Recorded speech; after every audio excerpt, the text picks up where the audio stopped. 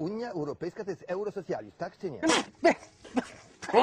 Większość jest głupia. Większość zawsze wybiera głupsze. Niech pani do jasnej cholery nie przerywa. Nigdy pracodawca nie zapłacił podatku. Bo on zawsze podatek doliczy do ceny i zapłacicie ten, kto je. Czyli nie piekarz zapłaci ten podatek, tylko pan kupując bułkę. Rozumiesz pan? Musimy zlikwidować podatki dochodowe, bezrobocie zniknie praktycznie. Likwidować zasiłki dla bezrobotnych. Dlaczego człowiek pracujący ma pracować na nieroba? No. Praca jest tylko po to, żeby zarobili pieniądze, a nasze życie jest po pracy. Chodzi o to, żebyśmy umieli się cieszyć życiem, wydawali te pieniądze na co chcemy, prawda, na rodzinę. Na... Dobra, Większość jest też dyktatorem, tylko głupim dyktatorem.